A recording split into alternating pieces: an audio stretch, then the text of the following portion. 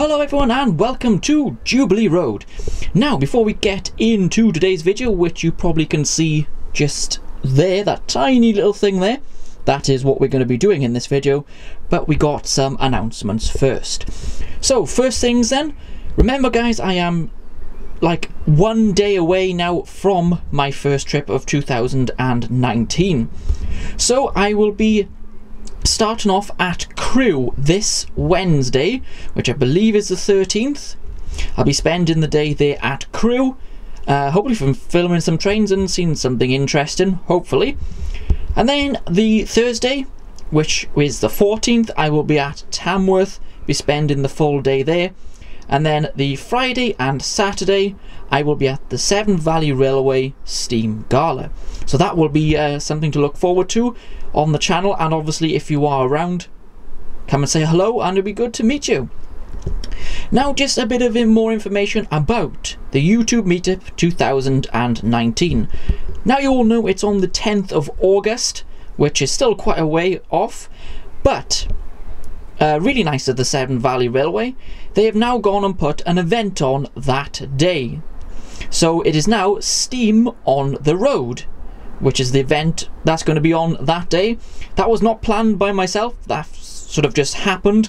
So uh, at Kidderminster Railway Station, then when we all arrive, there'd be a collection of steam vehicles like traction engines and steam lorries and all that kind of stuff. So Thank you, Severn Valleys, like they knew we were coming. I doubt they did. So, guys, yeah, if you are uh, going to be around Crewe, Tamworth, or the SVR uh, in the next few days, let me know in the comment sections, and it'll be great to meet some of you. So, let's get into today's video then. So, we do have a very, very, very small visitor to the line, and here it is. Borrowed this off Steve at GLR Bespoke Services. This is his own model. Never really thought of buying one of these just because, well, I don't think I'd ever use it, to be honest. It's not something I'd uh, use a lot, and they're very, very temperamental models. You'd know if you own one.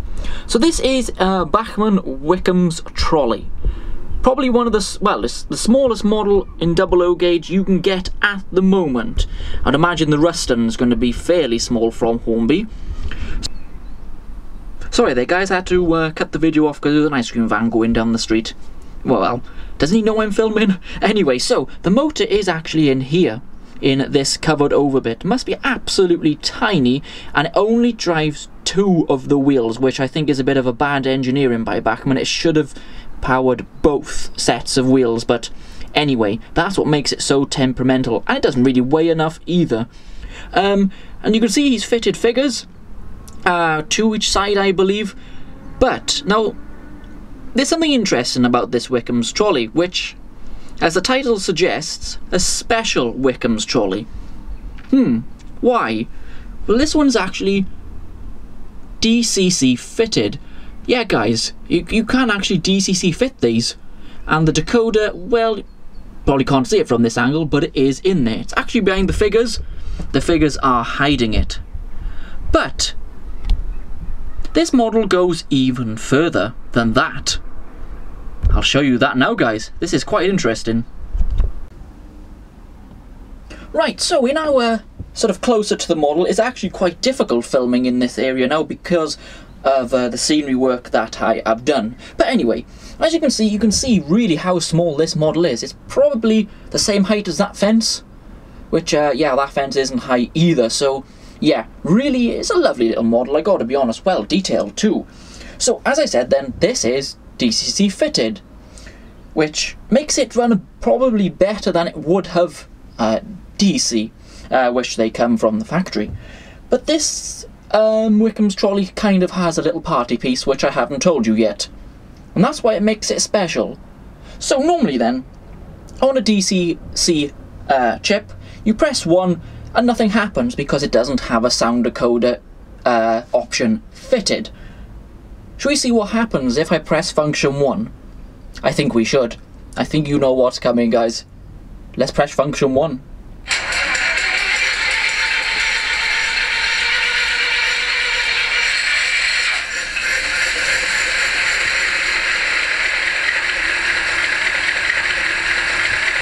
So, uh, Yeah, guys, believe it or not, this tiny little Wickham's trolley has D DCC sound fitted. Uh, the speaker, again, is hidden behind the workmen which are placed on it, and you really, really can't see it. Uh, it's really, really quite impressive to fit all this into such a small uh, loco. So let's just shut it down and see the shutdown sequence it has.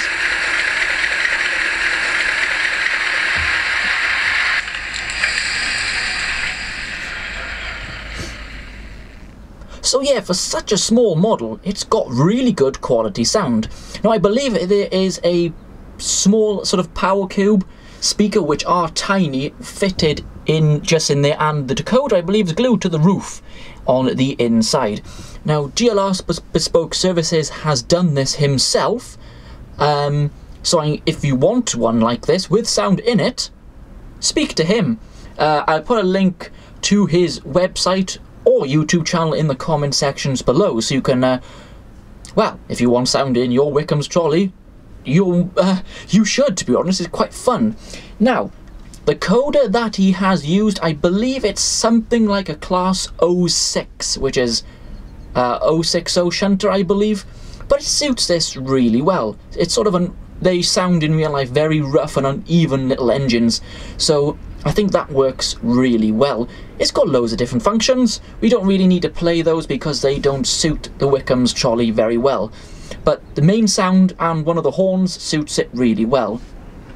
So what we're going to do next is run it around the layout. Now this is going to take some doing guys because I said these are quite temperamental little models. So let's go and follow it around the uh, layout and let's see how it goes.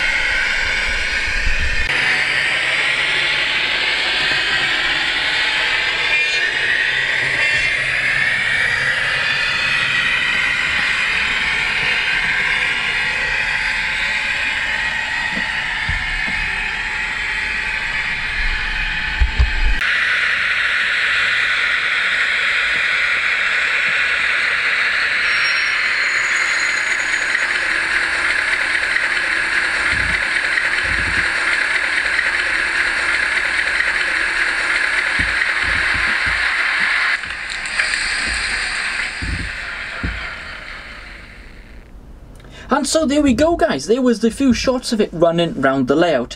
Yeah, it took a few attempts uh, uh, to run it around the layout because as I said they can be a little bit on the temperamental side.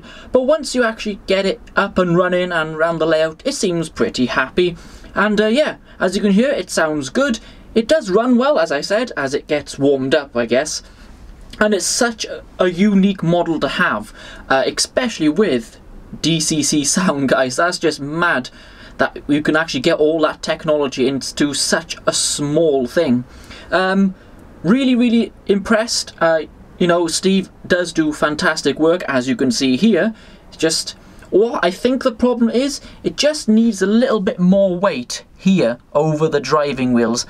Uh, I'm not sure how you would do that, but uh, we've been in talks with Steve to try and weigh this down a bit more, and I think it would run so much better.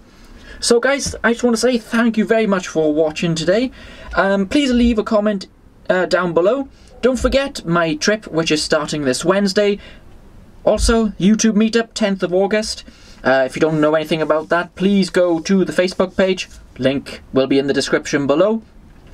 Uh, please like the video and subscribe because I'm not far off now 5,000 subscribers. Thank you very much for that guys. So then, the next video will actually be from the Severn Valley Railway. So there'll be no videos from Jubilee Road for quite a few days as I'm away. I'm sure you can wait guys. So, as I said, thank you very much for watching and I'll be back here at Jubilee Road or on location very soon. Bye everyone.